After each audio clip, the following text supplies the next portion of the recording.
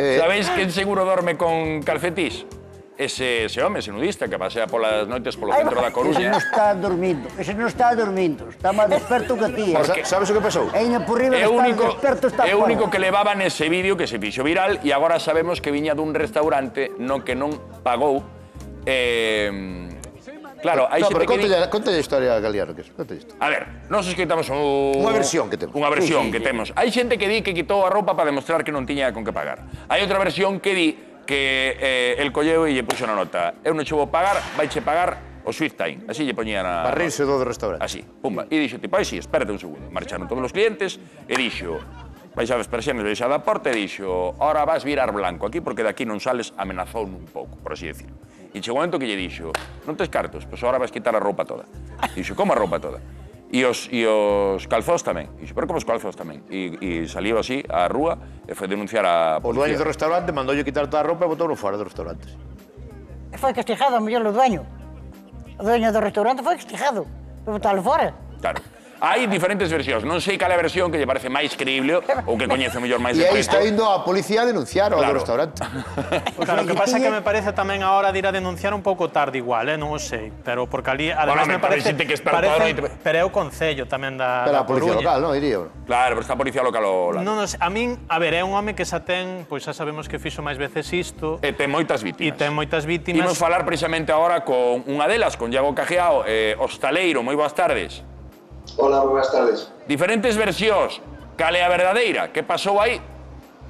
No lo sé, yo no sé lo que, lo que pasó en, en otro restaurante, yo te puedo hablar de lo que pasó en el mío hace un año. E que pasou hai un ano? Nada, pues hace un, eh, hace un año pues esta persona vino a, a nuestro restaurante y nada, se sentó en la terraza, se, se puso a comer, bebió lo que quiso y nada, y llegó un momento que pide, pide la cuenta, todo con una educación excelente, muy, muy buena planta el señor, pero la sorpresa es que cuando le, le- le traes la cuenta, eh, te, te escribe con, un- con el bolígrafo un nombre y apellido de una jueza y un número de teléfono, ¿no? Entonces te dice que, que te va a pagar esta persona, que está todo bien, que no te preocupes, pero que, que le llames. Entonces, claro, eh, yo como dueño y como gerente, pues no me, no me creo la historia. Y claro, eh, lo que había pasado es que ya mm, hace un par de días, a- anterior a esto, había salido en, en un periódico digital, eh, pues el caso de esta persona que se dedicaba a hacer, digamos, simpas a los restaurantes y, y no pagar. Y bueno, vino la policía local y, y nada, que tomó la- los datos. O o sea que él nunca intenta escapar. No, no, no, no. De hecho, es, es un, un no simpa. O sea, él en ningún momento se quiere marchar, en ningún momento te falta el respeto, insulta a nadie, no hace por, por, por irse, nada, simplemente tiene mm, su chip de que él, no va a pagar, va a pagar un juez, una jueza, depende, por, por lo visto en, en mi caso, eh, dio el nombre de una jueza, en, otros casos por lo visto da nombre de juez. Y nada, es así, tiene pues, la persona, tiene esa, lo que sea en la cabeza de que él va a pagar, va a pagar a justicia. Pero non sabemos por qué, non, non, non, naide sabe por que fai isto do, de poñer do xuiz ou dunha xuiza.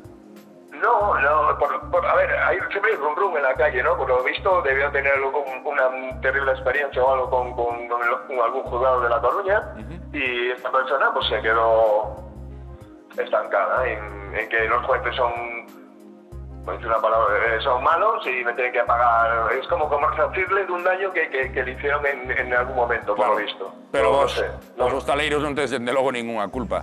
Pois xa, ninguna moitis... culpa, pero Sí, dinos, dinos, dinos. No, eh, yo, yo entiendo eh, que no tenemos ninguna culpa, pero también nosotros estamos eh, contra la espalda y la pared porque tú a la hora de ir a denunciar, tú lo puedes denunciar, pero no vas a ganar absolutamente nada, a no ser que eh, el, que gaste más de 400 euros, que pasa delito. No sé si me explico. Sí. De 400 euros para abajo, lo único que vas a hacer es perder una mañana maravillosa de tu vida en una comisaría y no hacer nada. Absolutamente nada. Entonces, claro. Bueno, pero eh, a mellor pola, absolutamente, pola es triste. acumulación, pola acumulación de denuncias, non? A mellor poderán facer Algo, algo. algo me comentaron la policía cuando vino aquí a, a- a mi, a mi negocio, pero me lo contaron como, sí, denunciar que es bueno, pero bueno, no sé, no. En mi caso fue poco, fue muy poquito. Hombre, todo suma, ¿no? e máis... Eh, Bueno, é que, tiempos, es, bueno, claro, seña pouco ou moito, estar dando un servicio polo que tes que Correcto. Claro. O sea, eh, nosotros no somos una ONG. Claro. ¿no? O sea, estamos aquí para ganar dinero. Pero es una situación muy frustrante. Porque no, estás como, bueno, pues nada, chico. No, no sabes muy bien cómo actuar, ¿no? Claro. Pois, Iago, moitísimas grazas Gracias, por Iago. eh, contarnos a túa experiencia, unha vítima máis eh, deste home que fai os simpas, aínda que el di que non son simpas, realmente non marcha. El di No, que no, non vai él dice que non vai pagar isto. Vamos a ver que faría o sheriff eh, Galeano. Claro, o neste que caso. pasa é que o problema é a acumulación que decía antes Claro. Roberto, que non existe hoxe en día, e, por exemplo, as persoas que rouban a, os carteiristas, digamos que saben perfectamente que cantidade roubar porque non hai unha acumulación por cartos roubados. Entón, claro, aí é moi difícil porque ti denuncias e logo ti realmente mm, non recibes nada. É un caso para o xerif galiano. Vai, Ricardo, aquí... A metelo a traballar, a limpiar Esto o plato, había que sacar isto adiante con, con unha razón, aquí. Perdón? Había que falar había con que... ver que pasa, non? Non, non, había que sacar isto adiante con unha razón. Ese señores por que motivo? Non se sabe se si sacaron, se si sacou. Este xa tiña. É raro porque non iba a policía local. Ese vídeo está indo cara ao Concello da Coruña. Entón, Pero hai ali policía. É, é que vai.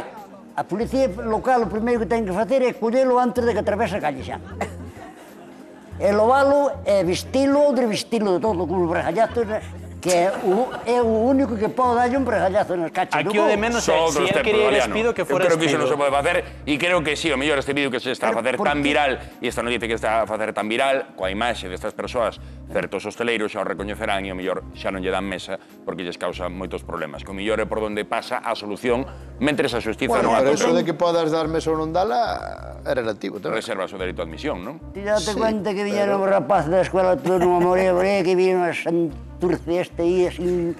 Cuidado, eh? Cuidado que isto, isto é... In... Eu, aos recusanos que teño, estou me movendo parvo redón. O ver estas, estas imágenes e hasta irrepulible en Santiago de Compostela. Eh. Pero que che molesta máis? Que non pagara no restaurante ou que fora de... Uh, se non pagou, eh, detrás dele eh, eh, facía pagar. Punto. E se non ten cartos que vai ali ao cajero, e se non ten tarjeta tampouco, claro, oír así. Pois que pete a porta con, con a machada, eh? Pon, pon, dádeme carta para pagar iso, non ando desnudo. Non, non, non, non, isto, ese señor non podía botar pé fora onde estaba sin collelo e lobalo para pouco Si, sí, o que pasa é que xa sabemos que non podemos tomar a xustiza pola nosa man que... Pero que xustiza este lixítima. Pero a ver, Galiano, ti non podes coller o home e facer o que ti queiras porque non che pagou. Non, non, non, no, pero así. sacalo da calle. Non, non, non, iso é cuno. El di que non se pode andar pola rúa, espido, así. Ah, iso é o que máis che molesta porque... de todo. Claro, sí, claro. Sí, sí. Home, el, si o fai porque el quere e porque el se quitou a roupa, pois pues, é o peor dos males. Pero se che caso. quitaron. Si Chaquitanos é diferente. Bueno, aí xa... un resultado é que A non ti se sabe. quitanche roupa e botante na rúa, que vas facer? Andar, non? Que vas facer? A mí non me quita roupa nadie. Pero se che quitan. Pero, Que son ves restaurante, non pagas, te sacan a roupa, tens que ir desnudo, como vas? pero para sacar máis que pasaba por riba ¿eh? de min, eh. Bueno, Vete, que ben, va. hoxe non llevamos a dar eh, resposta a esta solución que en todo caso ten que estar No, nas pois mans de averijo, Xustiza. averijo durante a semana. Habría que falar con él, non? Después pregunto yo, mañana, vale. mañá pregunto yo, padre Patiño. Pregunto yo, padre Patiño, intentaremos localizar esta persoa e nós tamén queremos falar con ela. Moitísimas grazas, mucho, moitísimas grazas, Galeano, moitísimas grazas, eh, Ricardo. Ollo, que abriu a veda da Centola, chega aí o Nadal e estamos en, epa, eh, en época na que rompemos moito... Abreu, abreu, abreu. Sí, sí, abreu, abreu. rompemos moito os dentes. Facemos unha pequena pausiña, joder, Galeano. E a volta pasamos consulta co odontólogo de contado, con José Luis Torres.